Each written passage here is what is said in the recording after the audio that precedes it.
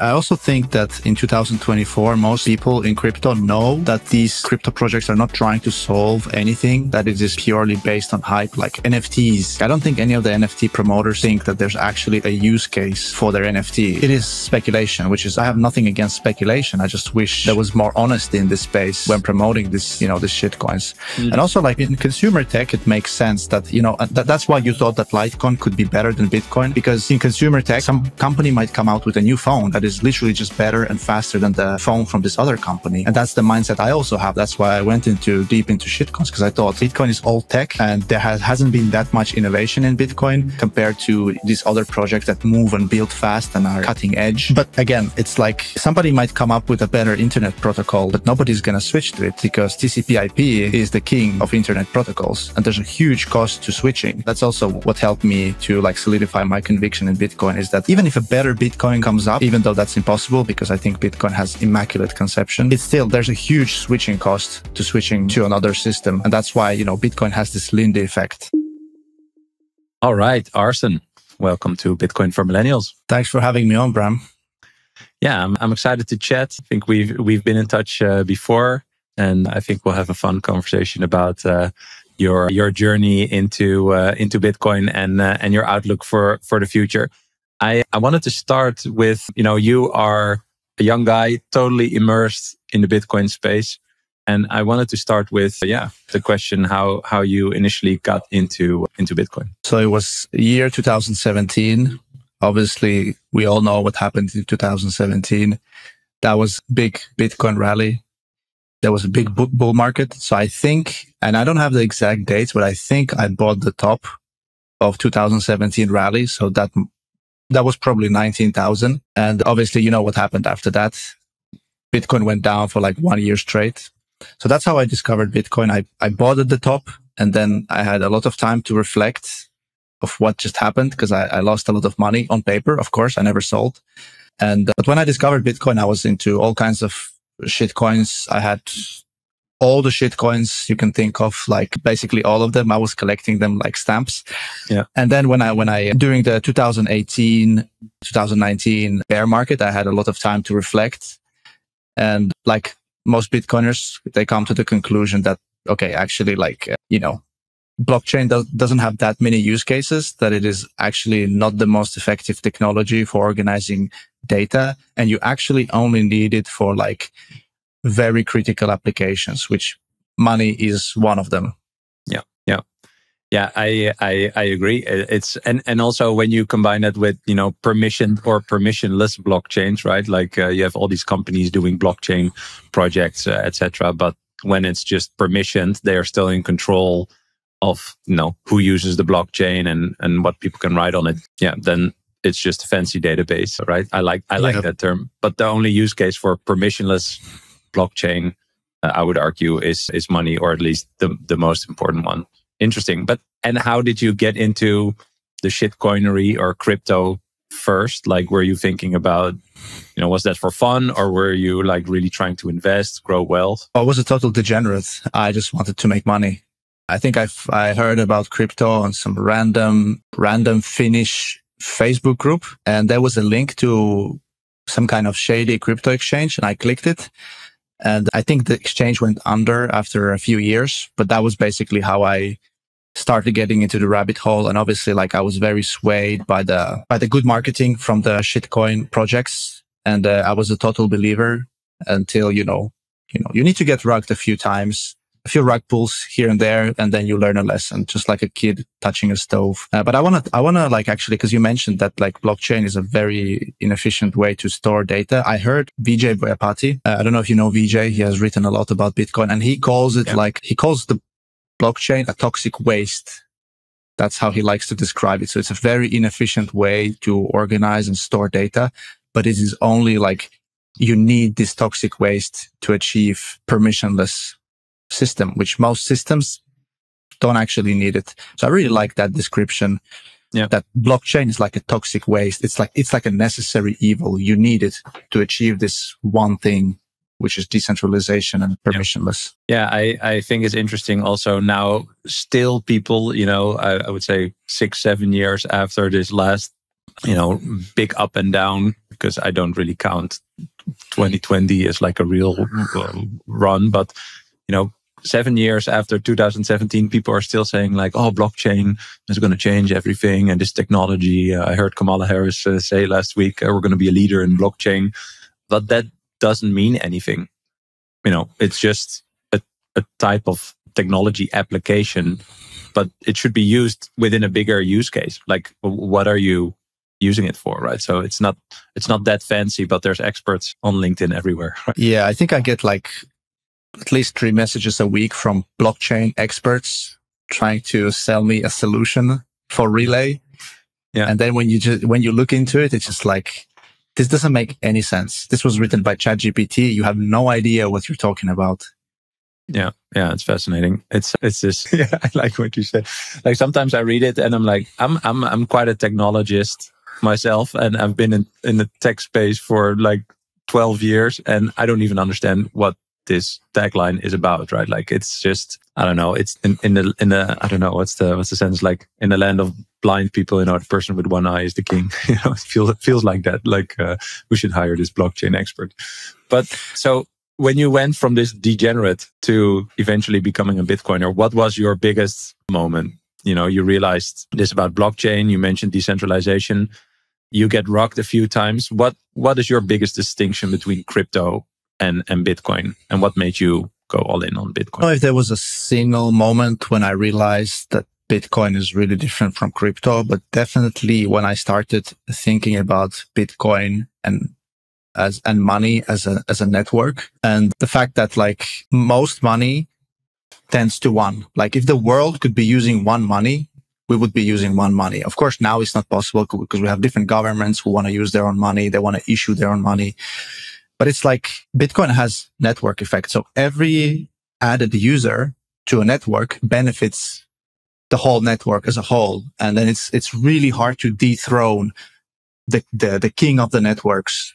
And it's the same with social media. Like if, if, if there's three users on Facebook, nobody's using it, but every single user, new user on Facebook benefits the old users. And that's how the network grows.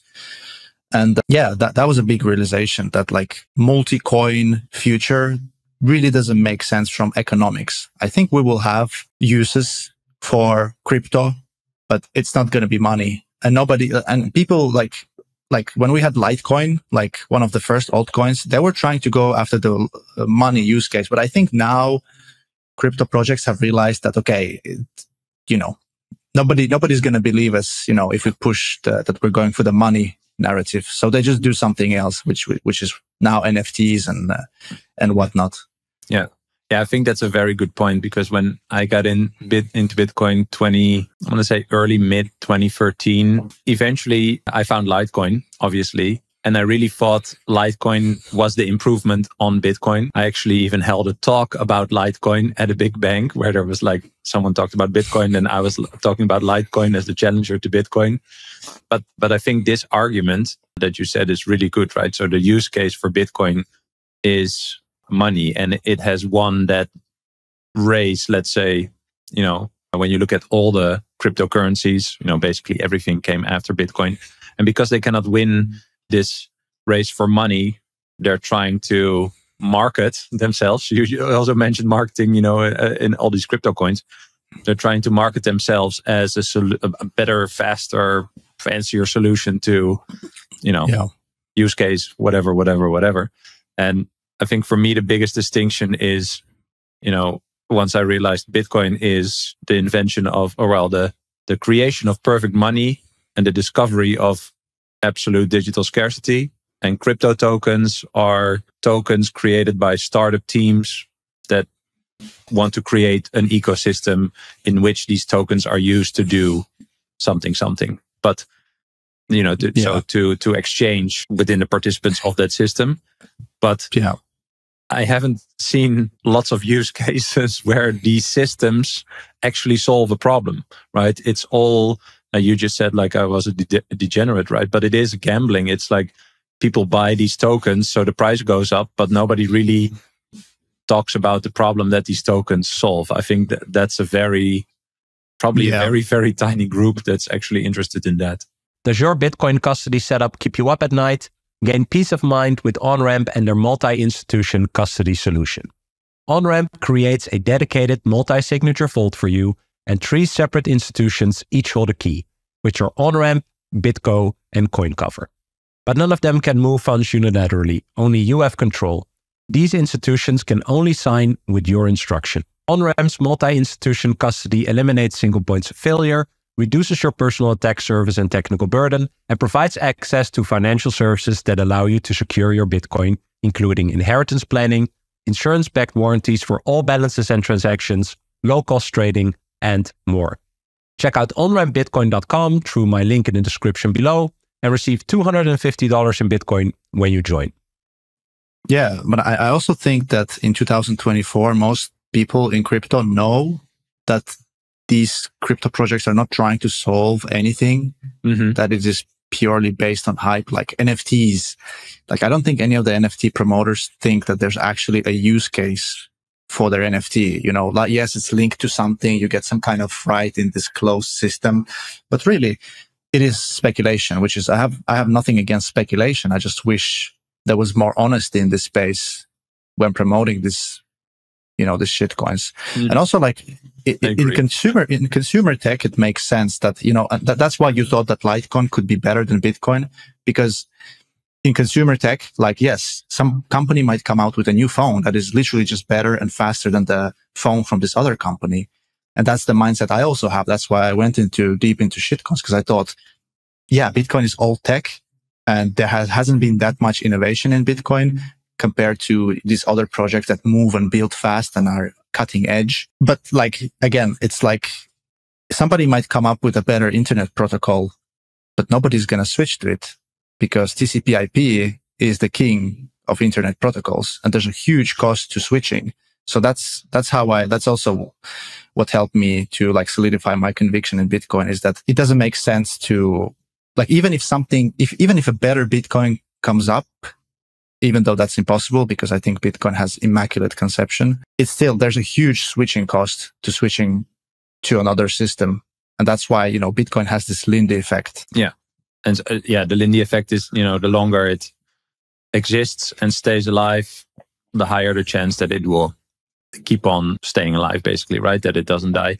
I have to think about, I just saw a talk by, I don't know his last name, but his handle is Anil Saidso. Do you know him? Like he creates like really nice slides. He has like a really great book also to explain Bitcoin. But he, he had a slide where it was like a Venn diagram of one part was money and the other part was networks, right? So what you also talk about networks and Bitcoin is basically in the, in the middle. And he explains like, if you only look at it from the networks perspective, you will miss the, the, the bigger picture of Bitcoin. And if you only look at it from the money perspective, you will also miss the bigger perspective on, on, on Bitcoin. I, I would argue that this Venn diagram is a bit bigger. There's, there's more like dimensions. But uh, for example, the technology dimension is what all these crypto tokens talk about, right? We are faster, more throughput per second, blah, blah, blah, blah, blah. But yeah, if we ask the question for what, then th- there are not really use cases actually used by people. Well, perhaps stable coins. I wouldn't really count them as true Yeah. crypto, by the way. But yeah, it's just they're arguing from this technology point of view where Bitcoin is way more than than just the technology. And I think, as you mentioned, you know, the networks part is is, is probably the biggest thing. You know, like you can just copy Bitcoin, you can copy the code, you can you can literally start. I can start Bramcoin tomorrow with the Bitcoin code, but nobody will be incentivized to use it. Yeah, it's like unless you are somebody like Adam Back, he he might have gotten Bitcoin immediately, even though he also didn't get. But again, like you explained, there's a Venn diagram, and you need to be kind of well versed in all of these things. So networks, technology, and then also economics. And most of us are not. That's why when we come to Bitcoin, like you know, you came in 2013, you said, or 15. Mhm. Yeah. And me in 2017, we didn't get Bitcoin immediately because we lacked the context. We, you 100%, know, you know, yeah. you need to study all these other disciplines. And that's when it starts making sense. Yeah. And so, what And- were you like educated on finance or, or economics, money, risk, wealth? Like, did you have a background in that or did that come later? No, not really. I mean, I had a few economics courses. So I have a degree in business administration, which uh, I think is a pretty useless degree, to be honest. Never used it for anything.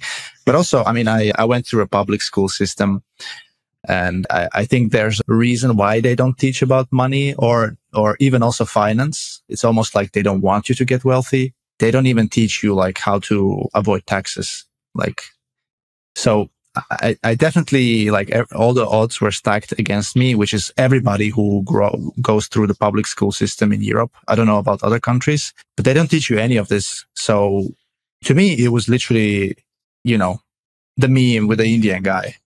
I'm in it for the technology. So like mm-hmm. I, yeah. I, I came in for the money and I'm, I'm still in it for the money.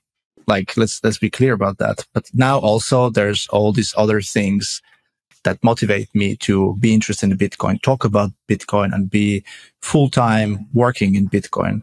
Yeah. So what do you think?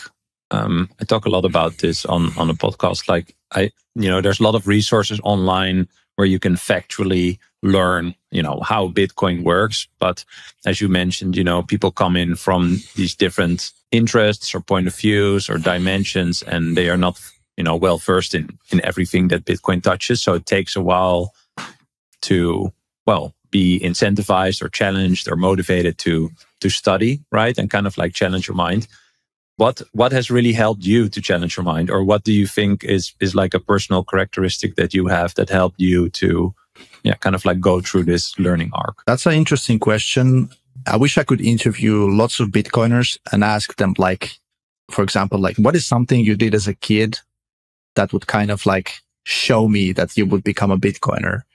I think we're a very different bunch of people, but I think what there's a few themes to I've noticed when talking with Bitcoiners is uh, first curiosity. Like if you're not curious person, I mean, you're not going to be interested in Bitcoin because there's so much to learn. Like the rabbit hole is really deep. And also I think kind of like this punk fuck you attitude also exists in Bitcoin. I think I had less of that I think I'm more on the curious side and like issues with authority. This is like the most common themes I see in Bitcoin. And uh, the, the more, the more mainstream Bitcoin goes, the less I see it because we get all kinds of people in it. But I think especially the early group of Bitcoiners, definitely very, you know, into anarchy and no respect for authority, but also like very curious. Yeah. Yeah. I think if I would answer that question, I would probably also say curiosity and kind of like, I want to. So, for example, like if I would hire a plumber to do something here in my house, right? Like that I couldn't do. That's why I hire him. I would look at what he's doing, not to like control him, but to just understand what he's doing. Like that's really what I'm like. Like I, I'm just interested to see how something works. And yeah, so so that's also what I would say. Like just the curiosity part. Like just not accepting something at face value and always kind of like being interested to at least dive into something for a little bit. And if it really uh, interests you, then, you know, yeah, I've gone on tangents for, you know, weeks into a certain yes. Yes, me too. And, and this is not always healthy to have, to have this kind of brain mm-hmm. because then you learn a lot of stuff that is just like not productive for you. It's like, you know, we have division of labor where, you know, you, you should let your plumber do his job and you don't need to know how it happens. But I think Bitcoiners like doing things themselves. They don't like to trust. They want to verify that the plumber installs everything. Yeah. You, well, so next time you don't have to pay the plumber. You can do it yourself. Well, maybe it's kind of like control freak behavior disguised by curiosity or something. You know? Yes, probably. Yeah. both. Yeah, fun. So you know you are you you you you studied you challenge yourself. You are a young millennial. How how do you experience talking about bitcoin with like our generational peers? In real life. I think online it's easier right? But in yeah. real life our generation we're the same generation because you're a bit older uh, i think i'm like i'm, I'm older but i'm a, I'm a millennial definitely you're not a you're not a boomer yet no thank you. Otherwise, this podcast would be called. Are you getting back at Bitcoin for because, boomers? Because I asked you if you're you're Gen Z before we started. Yeah, yeah, a little bit, a little bit. Okay, okay. When I speak to millennials, I mean, honestly, it's like, I mean, you know, it's different topics that appeal to different people. Of course, you have to read the room and understand who you're speaking to. You might be speaking to people that are really not motivated by money. But for example, I don't know, justice then you might need to have a different angle. But there's a few topics that always come up to mind. The fact that millennials are, especially the, the young millennials like me, not, not old guys like you, we are being kind of priced out of a lot of things. For example, big one is a real estate market.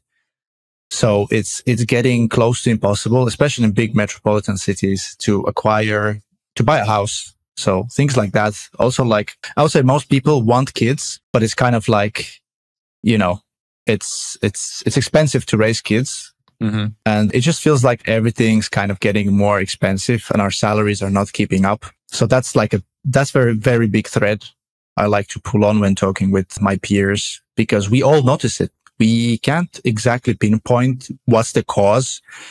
And if you listen to conservatives, they would say uh, that it's the, you know, the, the welfare state spending programs, it's illegal immigrants. And then if you listen to people on the left, they would say that this is because of, you know, spending, uh, war spending in different countries, you know, so we're fed all these narratives, but but uh, but nobody really questions that okay actually we're being priced out because we have shit money mm-hmm. that is working against us.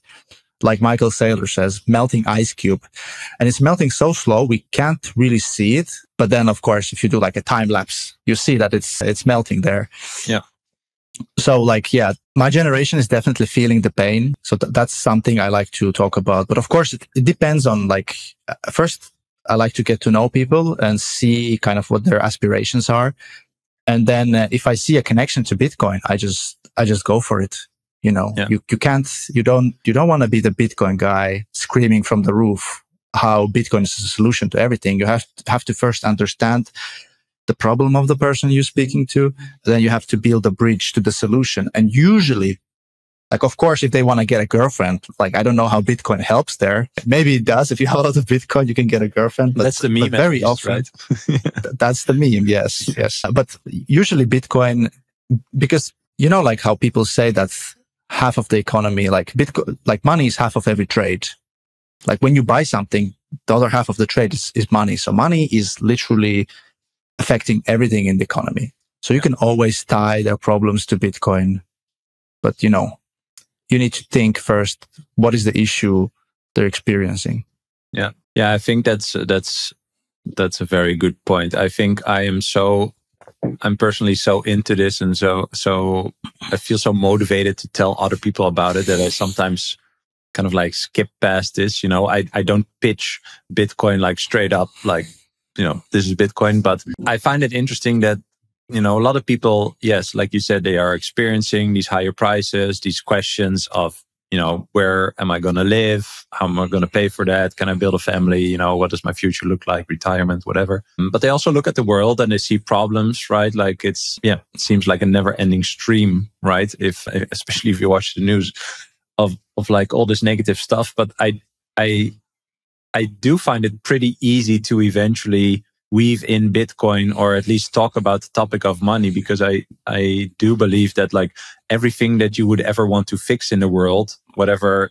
is close to your heart, is probably fucked up because the money is fucked up, right? Because as you said, it's it's half of each trade. And so if you have bad money and you are trading this bad money, yeah, you're also creating bad incentives. Like why would I put in any effort or value in creating something when my reward is money that just loses value, right? I think that's one example, but also, yeah, just the fast yeah. money, all the consumerism, etc. It's like the the marshmallow test. You know the marshmallow test where they they give you know they tell kids that either you yeah. wait a little bit and you get two, or you can have one now. So like economy on fiat money is like marshmallow test, but there's never two marshmallows. You just wait forever yeah. and your marshmallow gets smaller. Yeah. So you better eat it immediately. So everybody exactly. always chooses one. Yeah it's I had a podcast with Seb Bunny where we talked about went really deep on you know what is money, and he said something, and I'm probably butchering you know the the quote, but like we are incentivized to spend our money as quickly as possible because the current in the current moment it's worth the most. And when he said some, that, I was like, damn, that's that's it, right? And I think it's very subconscious. People don't consciously do this, but in some way we are more consumers than builders because of the money losing value all the time. Yes, and the extreme, the most extreme example of this is in Argentina. When they get their salary, they run to the store where they can build, they can buy building equipment and they just build another room in their house because it's like either I build this room right now, yeah, or it's going to be next week half of yeah. the money. So they're they're definitely uh, builders and consumers. yeah, and I that's a good one. But I think this is interesting, right? Like there, I don't know how people in the West would look at Argentina like right now, but before I think you know, and, and we we know like if you look into Argentina was a very prosperous country, right? The richest country in South America. And in that country, this, what you just said, is happening. And it makes a lot of sense right? Like, why would I stack this money to spend it later? I can, I can better make my house bigger. Like, if that is your incentive, that's it, it's wild. Yeah, and it it it kind of warps everything in your head. Like, you know how Michael Saylor he has the domain hope.com and it leads to Bitcoin. Yeah. And I think that is so true. Like to me, Bitcoin is representation of hope.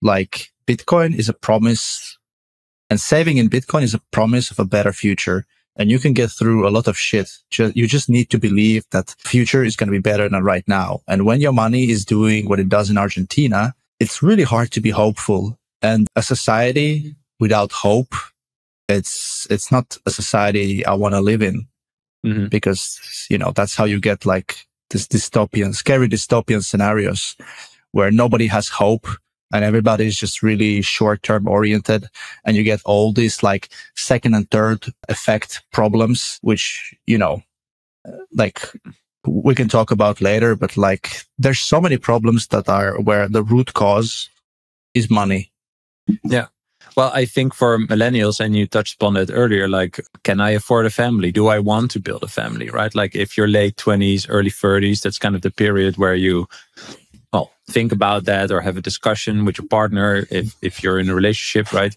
And I think I got this from Saifedean Ammous, where he says like everyone discounts the future, right? Because the future is uncertain for everyone. So even with perfect money, you would have this conversation, right? Like, do we want kids or where do we want to live or how would, would we want to raise them? Like big questions about this big decision. But because the money is so bad and it loses value into the future, you, you, you discount the future even more. And that makes you very nihilistic. It doesn't give you hope for the, for the future. It's like, I don't even want to live in the future because it feels so uncertain when I think about it now. Right. And I think that's just a really, that's a hard conversation to have. Like, how can you plan for the future if you don't have hope, if you're not optimistic for the future? And yeah, I agree with you. Like, if the second order effect is if people don't have kids eventually, you know, less people in a country, less productivity. You know, it's kind of this flywheel effect of even a worse worse outlook on the future. Yeah, and the, you know the governments work with central banks, and they have these programs to incentivize people to find jobs and to have kids, to you know give uh, benefits to mothers who have like five kids or plus. But at the end of the day, again, it's a very short term thinking. Like if they really wanted a prosperous economy, they would. Mm have a long term mindset and do something about the money. But that's it's yeah nihilism is such a big problem. Like i see so much pessimism right now especially with uh, luckily our generation is is okay. But gen z when you talk to them it's they have a quite a bleak worldview because you know the world is going to be destroyed because of climate warming. Mm-hmm. thank you greta thunberg. And the, the populists are taking over and uh, there's more racism and violence in the world which by the way like statistically is just not true. The world is becoming better and safer place but they just have this very nihilistic mindset. And a big cause of that is because all of these problems come you know they stem from money being so yeah. broken. And it like we can't even comprehend. There's going to be studies in like 15 20 years about what how fiat money fucked up our brains for years. We don't even know what it's doing to us now. We don't have the whole the full picture. Yeah. Yeah, I would agree to that. And I also think millennials are the ones that can bring this Bitcoin thing more forward because we know, I think, a world without technology or early technology. And we've seen how that's grown, how it changed the world, you know. And I think we can make a good distinction or at least make an attempt to see the reality versus what what has been told to us right? Like you know you go to school and college and you know find a partner buy a house get a job kids etc uh, but the reality is as, as you alluded to before that's just not so easy as it was for our parents or our grandparents right? It's just a, a, a, a totally different time. So we realize that this what has been told to us is just not possible anymore and we are ver- you know equipped to find information on the internet. You know all the information is literally out there. I think that's how we learned also about bitcoin and all these other touching subjects right?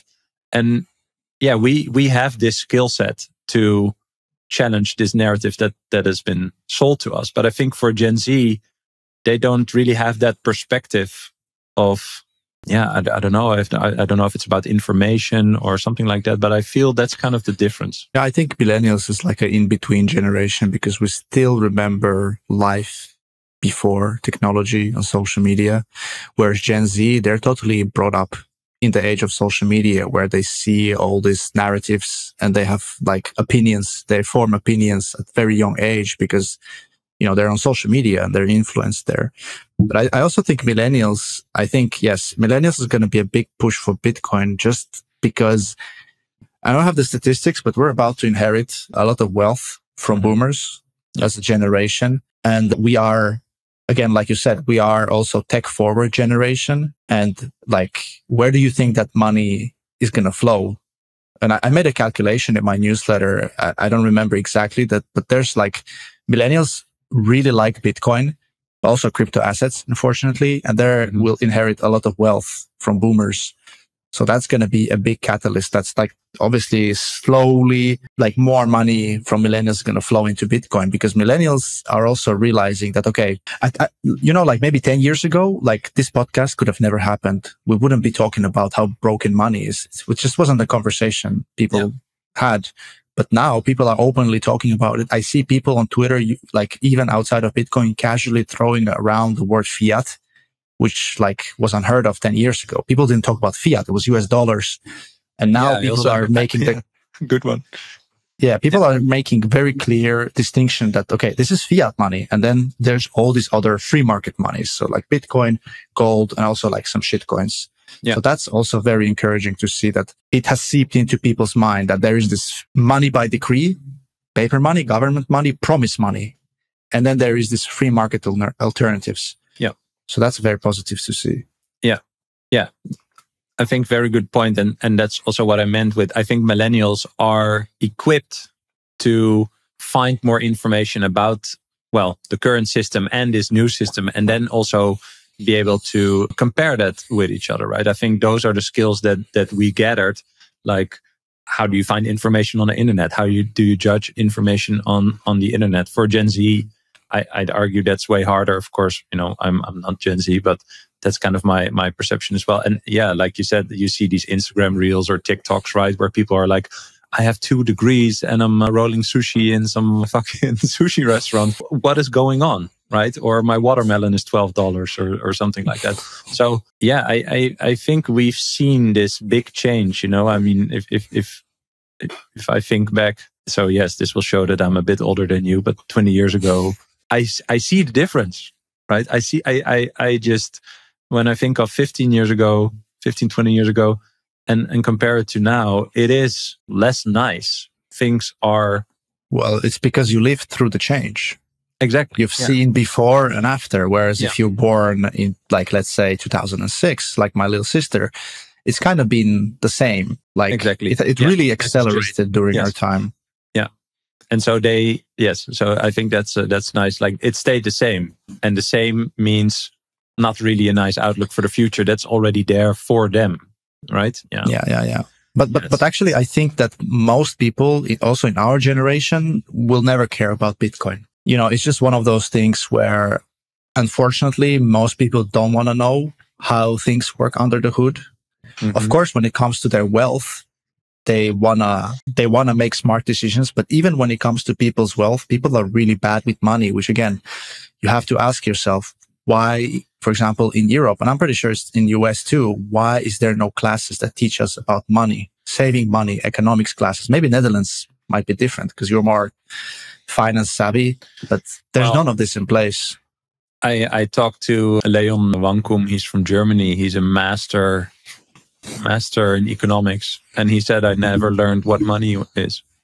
So maybe that's the answer to your question. You know, even a master in economics hasn't has never learned what what money is. And yeah, I mean, this is one of these little I don't want to say red pill things, but if you if you just hear that and you think about okay, if he doesn't know and I don't know what money is, right? No, no one ever taught me. Why is that? Does that have a purpose? It makes no sense because we use money every day. Like uh, literally, as you said, you know, each trade, half of the trade is money. So why don't we understand what what money is? And the only rational, logical answer is that it is on purpose. Because if you would know what money should be and what you are being forced to use now, you would quickly see that that is not even money, right? Like uh, in my country last week, they agreed upon a new law where cash payments above 3000 euros are prohibited. Shit. But just that, just that, like, okay, so you have money, but if you have more than 3000, you cannot really use it, you know, and and they say it's under the guy, you know, the, under the guise of money laundering, you know, and solving that and blah blah. Yeah, yeah. But do you do you think mm, like us not being taught in school about money? Do you think that is like on purpose? Sometimes I struggle with this. How much is it on purpose? How much are they like sitting there and planning the curriculum? like, I don't think. Or how much is how much is no. how much is it about like just also the people that make the curriculum not actually knowing how I, money works because 100% that's the latter. Yeah. I think this yeah. is a very good question by the way. I don't think there's a there's a day or something. We just have a system. There's a system that no one really questions and there's people that eventually grow up and you know have a job or whatever and they end up in positions of power within this system and I think it's kind of like an organic or natural thing to keep a system alive because you have the assumption or idea that it's working.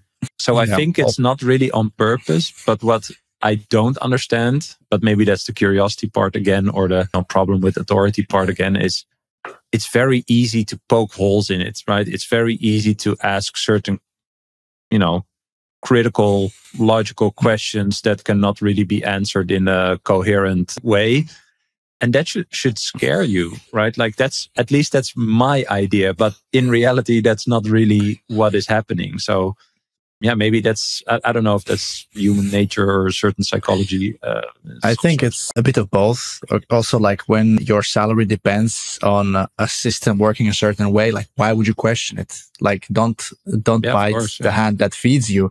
Like, have you seen that clip of Chris Pratt? Like he was a chief economist at ECB and they just asked him how money is created. Even he couldn't answer it. He was just getting confused by his own yeah. answers. Yeah. And then he's talking with his assistant. But, but that, that is, literally the only thing that makes me, I don't want to say nihilistic, but really doubt other people sometimes where I think like yeah. that should not be okay. Like really not be okay. Right. But the guy, well, that I think from that video that, that you mentioned, wasn't he like ex, like he, he left already? But yes, yes. The person, the, the people in charge should understand what they are in charge of. If you don't understand, you shouldn't be in charge of anything. Right. That goes for anything but especially money. Uh, I think that's a very idealistic thing to say, I know, but I mean, I, I, I agree, but it's like most people don't know how anything works. We just, you know, once it works and it's been working for, let's say 20 years, we stop questioning it. Mm-hmm. And I think that's the same with Bitcoin. Most people will not care, but Bitcoin, just because it is like better money, most people will end up owning it anyway. So for example, MicroStrategy, like is stacking a lot of Bitcoin and I don't know if they're already in S&P 500 or they will be soon. I think there's a few criteria they need to hit to get listed. And if MicroStrategy gets listed in S&P 500, like every American who owns S&P 500 will be indirectly exposed to Bitcoin because there's like a, they, they like, there's a weighted allocation system. So like the bigger the company, the more of S&P 500 index, uh, the, the more of the company shares is in this index. So I think that's how Bitcoin adoption is going to happen to like for the majority of people. Of course, that is paper Bitcoin. which is not good. You can be a rug pulled. It's the paper Bitcoin is not any better than, than fiat money. But uh, unfortunately, I think that's how it's going to happen, especially with the limitations on the Bitcoin system. Like, you know, the, like not everybody's going to be afford, not, not everybody's going to afford to use on chain, on chain Bitcoin. Yeah. So what do you think is the most surprising thing that you learned about yourself going through this journey? Uh, well, like I'm a self-prescribed pessimist, always been more pessimistic. Maybe that's like a defense mechanism against the world. Uh, but definitely Bitcoin has taught me that I'm actually an optimistic person. Once you give me the, the right tools, I am yeah. optimistic. So I went from a pessimist to an optimist. So that was a, that was the biggest change. I'm, I'm hopeful for the future. I, I want to start a family. I want to own a house. I, I think, yes, that's like the biggest change I've seen in myself. It's just my attitude towards the world. And again, like we talked about earlier, like Bitcoin has given me hope and I can see it in my everyday life. I take better care of myself because, you know, I know I want to live long time so I can enjoy all the, you know, all the labor I've put into, I've put in right now so I can enjoy it later. So very long term thinking. And it's really made me a better person for myself, but also for the people around me. Nice. Yeah, I discovered that I always saw money as buying time. So every time that I had some money or sold a few products along the way that I created, I always saw it as like time to figure out what is next. But I only realized that I was doing that when when I really got into Bitcoin. I was already valuing mm-hmm. my time in in some way but that this really emphasized it right? And i love what you said like it's more once you become really aware of the limited amount of time you have you become way more how to say like strict in what you spend your time on right? Whether it's well you you had a pretty big newsletter you sold that to focus on on other things right? I think it's it's stuff like that that really makes you question yeah what should i spend my time on and not not do something just for money right? Like just just have some sort of job, for example. Yeah, I mean, there's an old saying, "Time is money," probably because we always known that you know time is money and money is time. I can very much uh, relate to that. That's like like you said, I, I stopped writing my newsletter because I realized it's it's not worth my time. I think my time is worth more than the, the, newsletter. Of course, like if you enjoy, like for example, if you enjoy having conversations with different people, which is, I assume you do, you can't always like add a price tag to that. But definitely, uh, like also, like you said, like I've really learned to value my, my time. And I always ask myself, is this worth my time? Like, for example, somebody, you know, somebody wants to have a quick call with me. I'm like, is this really, is this really worth it? So like, when where like when I first got into Bitcoin, it was Bitcoin is the ultimate asset. But then once you are in Bitcoin a little bit, few years, you realize that it's not actually Bitcoin, it's time. Bitcoin is just a tool to to get more time, to do yeah. things that you that give you pleasure in life. Yeah.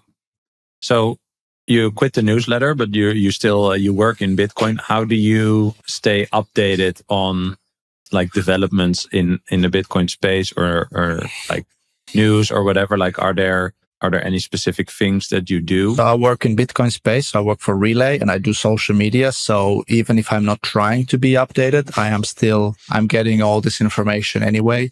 A lot of it is noise, like nothing new, but it's my job to stay up to date. I still enjoy Bitcoin news. That's why I was writing my newsletter and honestly, I just because of the nature of my job, I'm pretty up to date on the developments. Yeah.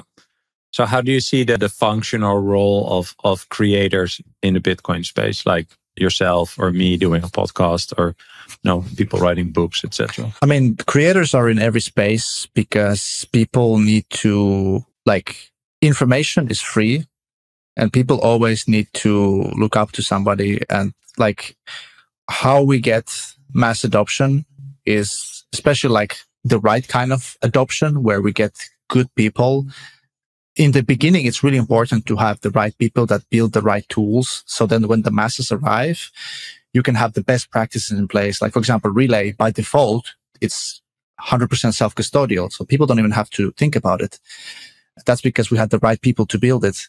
And creators, their their job is really important because they are educating people.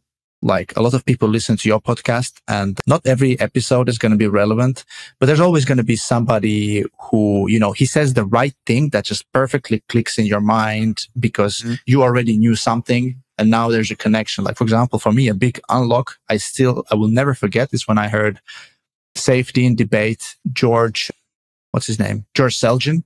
And he just said a thing. He said many things during this episode that just like connected the dots for me. And that was a huge unlock. And I had different moments like this after I've listened, like just consuming content where some guest just says something that I can really relate because he had a similar yeah. life experience and it just clicks for me. And my conviction, conviction just becomes so much stronger. Yeah. Yeah, I love that you say that. That's the entire point. My, my, well, I have two goals. One is have fun conversations that inspire myself, and then just create as many possible touch points to achieve what you just said. Right? I mean, my journey is the same. I just read and listen and watch watch videos, and yeah, sometimes there are these things that people say where you have to like scroll back and be like, okay, yeah, this this really adds like this to this little puzzle piece or it's a new puzzle piece in understanding, right? And then you kind of grow like I couldn't retrace my steps, by the way. Like there's some of these things. Actually, one of my biggest insights was from a podcast about energy, which was totally not related to Bitcoin. But even that, right? Like you're just on this curiosity journey and and just trying to pick up these little pieces to yeah to build your understanding. Yeah, and most of us we are alone. So I don't know how many Bitcoiners live around you, Bram, or how often you go to meetups. I love this point. Yeah. I had like one or two people in real life. And of course, like online, it's, you know, tens, hundreds, sometimes thousands of people, right? Now my circle is a bit bigger, but it was very, very lonely. Yeah. Yeah. For me, it's still very lonely just because I also live in a place where there's not a lot of Bitcoiners.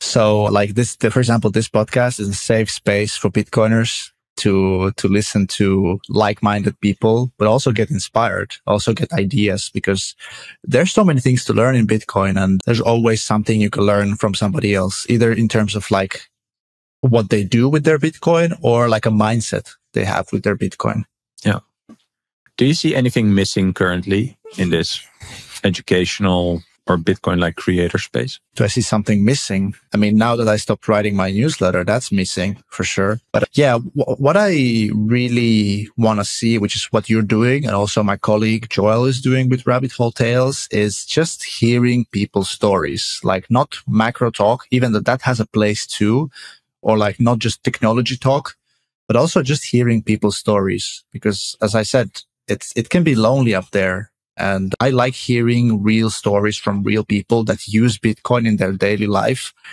or stable coins or lightning or even shitcoins. Just so you can put, so you can like put a face to like to the, to the use case. And that's, that's kind of inspiring. Yeah. Yeah. I, I, what I really like is that there's so many different people from so many different backgrounds and upbringing and ages and religion and all these things that are conveying on Bitcoin. And that has really been like one of the things that made me more enthusiastic. Like, okay, but what binds these people? Why, why are they gravitating towards this, this thing? And I, I don't think I've ever met like a Bitcoiner that I didn't like because there's already a certain type of, you, you connect over certain subject or interest or maybe this curiosity again that just creates also a nice human connection, right? Like I would also argue, like if you like Bitcoin, go to a conference sometimes and just see, especially if you feel alone, see that there's so many other people that are into the same thing. When I went to my first Bitcoin conference in Amsterdam was last year. So after almost 10 years in Bitcoin, I went to a Bitcoin conference. I went into a room for a talk and the room was totally full and I had to stand in the back, like in the hallway and then I realized, damn, all these people are into the same thing. That's crazy, right? Like then it, it becomes real if you see other people like online. It's still a bit abstract. Even we are having this call right now. It's still abstract. We are not in the same room, right?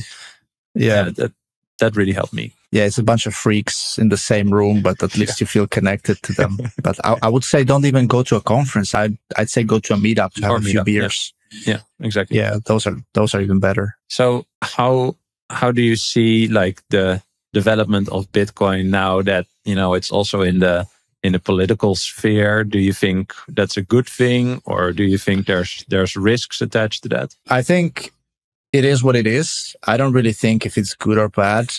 Like I think we should be ready for Bitcoin to be more politicized because it's like when it was a small asset, it was easy to ignore it, but now it's pushing 1 trillion and soon it's going to be a 10 trillion asset. So bigger than gold. So it is already entering geopolitical stage.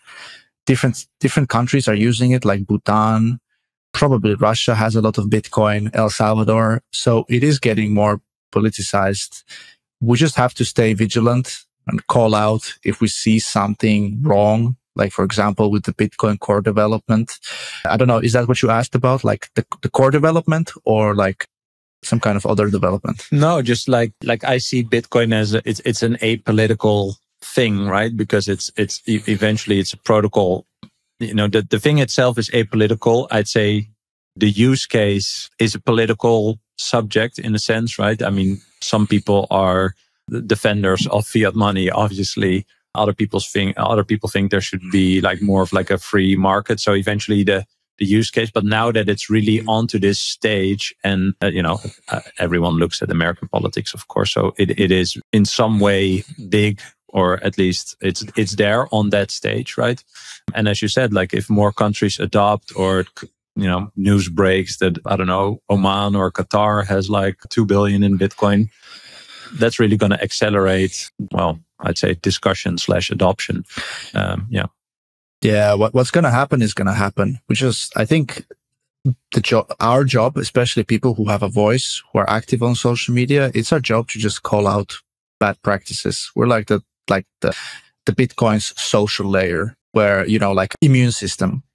That's why it's, it's really hard to be dishonest in Bitcoin because Bitcoiners have such a high filter and such a high barrier, like standard for truth.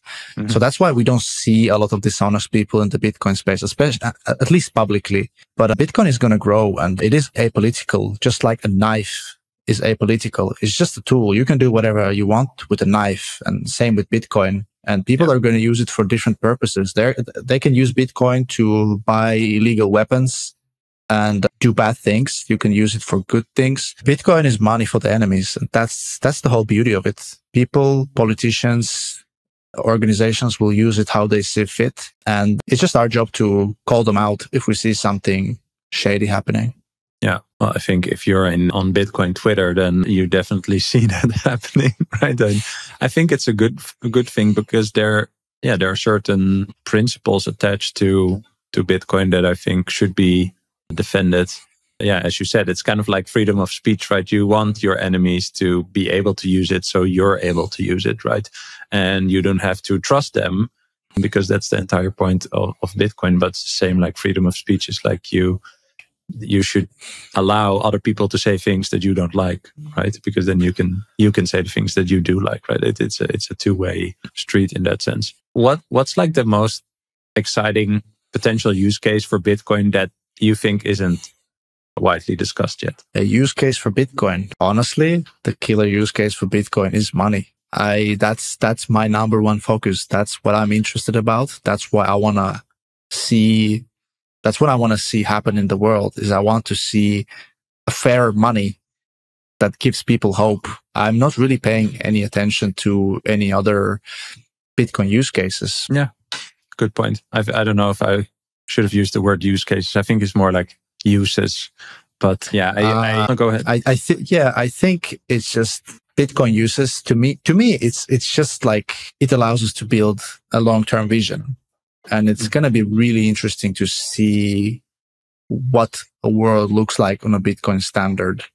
Yeah, like it's going to be a very different world. And you know, I'm just here with my popcorn, having a f- front row seat, yes. enjoying. I feel exactly like that. You know, we're going to talk about this for the rest of our lives and we're going to see how it's going to play out. Like when you think about this hyper Bitcoin, uh, Bitcoinized world, how does that look like? Well, like what does the future look like for, for millennials and, and, and Gen Z and, and, and the younger generations after them? I think it really depends how it happens. So I, I I'm not one of these people that cheer for like a big event where you know the global financial system collapses and Bitcoin like a savior jumps on the stage and it's like here I'm here because I I don't want to see pain in the world, but I also don't think it's going to be that smooth of a transition. There is going to be friction. There's going to be people in the old system resisting it. But honestly, like what Bitcoin looks like in a post hyper Bitcoinization world, whatever that even means. I don't even know what that means. Like, honestly, like, I don't want to speculate. I just want to live through it and see for myself. But definitely all the things that we discussed, like more long-term thinking, more hopeful world, more optimistic people, more wealth. That. All right. Last question. And I ask everyone the same question, which is what is a core belief that you will never let go? Well, is that you should stay humble and stack sats. Awesome. Well, great ender. Thanks so much for this conversation. I enjoyed it. And uh, yeah, man, stay in touch. Thank you. Thanks, Bram. Cheers. I hope you enjoyed this episode. If you did, also make sure to check out this video right here or go to my page and check out all the episodes of Bitcoin for Millennials. I appreciate your support and hope to see you for another episode. Bye.